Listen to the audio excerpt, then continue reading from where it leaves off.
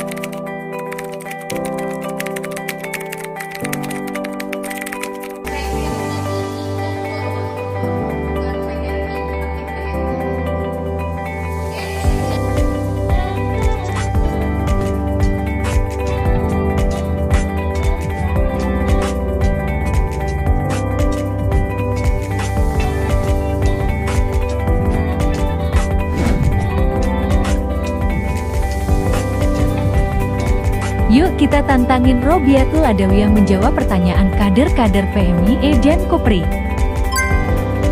Menjawab pertanyaan dari Muh underscore Amin 97 soal implementasi dan juga tantangan Kopri menuju Indonesia Emas 2045. Implementasi yang pertama yaitu soal penguatan kualitas anggota dan juga menggerakkan program kerja yang bisa bekerja sama dengan stakeholder terkait yang di mana di antaranya itu adalah instansi negara, NGO, dan juga universitas-universitas. Kemudian tantangan yang ada adalah bagaimana kita bisa melihat fenomena dan juga perubahan zaman itu dengan adaptif. Adaptif di sini nanti kita akan bisa kolaborasikan dengan kekuatan sumber daya manusia yang ada yaitu dengan penguatan manajemen talenta yang akan kita konferensikan dari hulu sampai ke hilir dari awal periode sampai akhir periode yang ini nantinya bisa dimanfaatkan oleh kader-kader Kopri dan juga kader-kader perempuan se-Indonesia tidak hanya sekedar yang bergerak terhadap pendidikannya secara fakultatif tapi juga keilmuannya dari segi skill. Menjawab pertanyaan selanjutnya dari Hak Syafi mengenai soal bagaimana menyamakan gerakan kesetaraan menuju kopri yang inklusi dan juga berdaya. Yang pertama yang perlu dilakukan itu adalah bagaimana kita bisa menyamakan frekuensi secara mindset bahwa perempuan di mana pun dan dengan latar belakang bagaimanapun mempunyai kesempatan yang sama. Dalam hal ini adalah kesempatan untuk mempunyai tingkat kompetensi dan juga kualitas berkembang untuk tumbuh bersama. Kualitas dan juga kompetensi untuk tumbuh kembang bersama ini nanti akan terfasilitasi oleh Kopri PBPMI melalui dua tahap yaitu beasiswa pendidikan dan yang kedua itu adalah beasiswa profesi. Dua hal ini yang nantinya akan menunjang sahabat-sahabat Kopri dan juga kader-kader perempuan se Indonesia agar nantinya bisa mempunyai lompatan-lompatan tidak hanya sekedar pendidikan tapi juga karir ke depan. Nah, karir ini yang nantinya akan menghiasi jendela gerakan perempuan akan lebih berwarna. Menjawab pertanyaan dari panggil.miss, bagaimana sih menurut kakak soal tips Kopri agar bisa bersaing dan juga berkarya? Nah, ada empat tahap yang harus dilakukan. Yang pertama itu adalah mempunyai kompetensi dan juga skill yang harus dimiliki. Kompetensi dan skill ini nantinya akan ditunjang secara bersama-sama dalam kelembagaan dan terfasilitasi. Yang kedua, kita harus punya kekuatan jejaring yang lebih luas. Jejaring yang lebih luas ini tentu nantinya akan ada endorsement yang harus dilakukan. Dan yang ketiga adalah bagian dari inovasi dan juga kreativitas hidup di zaman yang serba modern tentu kita butuh sentuhan-sentuhan yang lebih agak genzi dan juga kreativitas dan yang terakhir yaitu soal komitmen untuk bergerak bersama dan juga mencapai tujuan yang bersama dengan empat konsep ini nantinya kita akan membuat Kopri akan lebih bersaing dan juga untuk bisa bergerak maupun juga berkarya di ruang-ruang strategis. Pertanyaan selanjutnya dari Tantia underscore 36 Soal gimana sih menurut kakak konsep woman support woman Nah, woman support woman secara sederhana saya ingin katakan bahwa sesama perempuan yang paling dasar perlu dilakukan adalah adanya sifat penghargaan dan juga apresiasi. Kalau di antara satu perempuan dengan perempuan yang lain punya sifat saling menghargai dan juga mengapresiasi, maka kita akan saling merangkul. Dari situ, kita bisa menginventarisir apa yang dimiliki atas kemampuan dari perempuan-perempuan. Nah, Inventarisir tersebut nantinya akan dibawa terhadap pengkelompokan yang akan terorganisir melalui kanal-kanal jejaring yang akan dibentuk oleh Kopri PBPMI. Dalam hal ini tentunya misalnya skill yang kita miliki nanti akan terbangun melalui beasiswa profesi yang akan terfasilitasi. Maka nantinya kader-kader akan punya skill yang profesional dan ditempatkan secara tepat. Menjawab pertanyaan selanjutnya dari Amba Salwa, bagaimana menyatukan konsepsi Kopri inklusi dan juga berdaya dengan kondisi Kopri saat ini?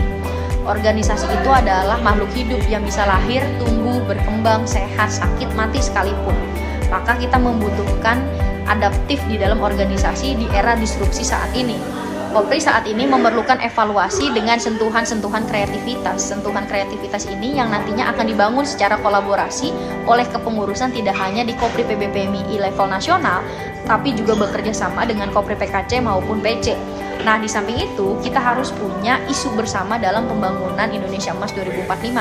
Salah satunya soal kompetensi dan juga skill yang harus dilakukan oleh kader-kader perempuan di Indonesia ini yang nantinya wajah-wajah di republik kita ini akan dihiasi oleh kader-kader kopri unggul dan juga kader unggulan yang nantinya bisa ditempatkan di ruang-ruang strategis. Oke, pertanyaan selanjutnya dari Rahmat PLB 3 yang bertanya Kawiwi itu mau membawa apa sih di kepengurusan Kopri PB selanjutnya beda dari yang lain?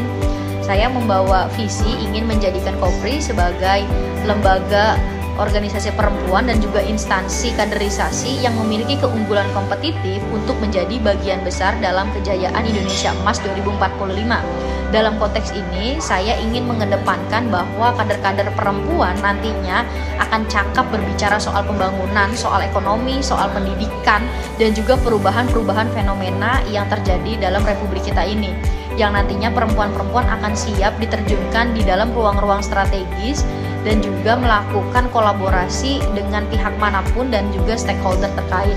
Nah, nantinya kader-kader perempuan ini akan menghiasi wajah-wajah kancah nasional kita tidak hanya yang bergerak dalam bidang satu saja, tapi juga berbagai bidang. Oke, pertanyaan terakhir dari Roundotul underscore Janah 24 soal Kak Wiwi kenapa sih ideologi kopri itu jarang sekali dibicarakan di permukaan. Sebenarnya ideologi itu tergambar melalui langkah-langkah tindakan dan juga praktek keorganisasian kita. Jadi apa yang sudah tercermin dan sudah dilakukan oleh kelembagaan yaitu Kopri, maka itu adalah bagian dari ideologi. Sejauh ini, Kopri tentu mempunyai sifat moderat dalam melakukan langkah-langkah kebijakan maupun juga program-program kegiatan dari sini tergambar bahwa ideologi yang kita perjuangkan adalah soal kesetaraan dan juga keadilan yang terbungkus dalam juga kemoderatan. Nah, maka kalau bicara soal ideologi tadi, kita mempunyai peran untuk melakukan kerja-kerja secara bersama dalam hal kesetaraan dan juga keadilan. Tentu di samping itu, nafas ini harus terus dikembangkan oleh kader-kader Kopri seluruh Indonesia.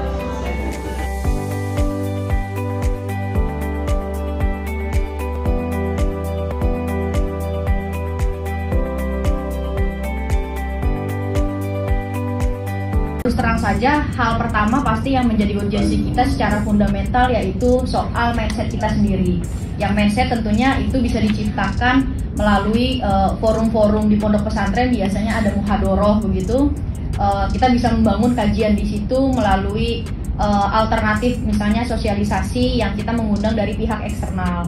Kemudian di lain sisi juga dari pemahaman kita terhadap mindset tadi harus ada edukasi terkait pendidikan seksual karena lagi lagi-lagi kadang kalau dari segi edukasi di orang tua kalau kita nonton film aja kalau ada film yang tontonannya mesra kemudian ciuman itu pasti kita akan canggung. Karena nonton bareng sama orang tua akhirnya kita ganti channel. Tapi kalau ada tontonan film yang kira-kira pertengkaran kemudian e, berantem saling baku pukul itu buat kita biasa aja. Nah hal itulah yang yang kira-kira dimulai dari lingkungan paling terdekat. Kemudian uh, pencegahan yang paling pasti yaitu membuat ruang aman tersendiri di lingkungan pondok pesantren tersebut maupun di lembaga pendidikan Islam. Terus uh, terlebih pentingnya pasti di tiap-tiap pondok pesantren itu kan juga punya uh, struktur secara hierarki baik di santri uh, yang laki-laki maupun santriwati yaitu membangun kerja-kerja tim secara inklusif tanpa memandang gender dan juga tanpa memandang uh, kasta maupun juga kelas.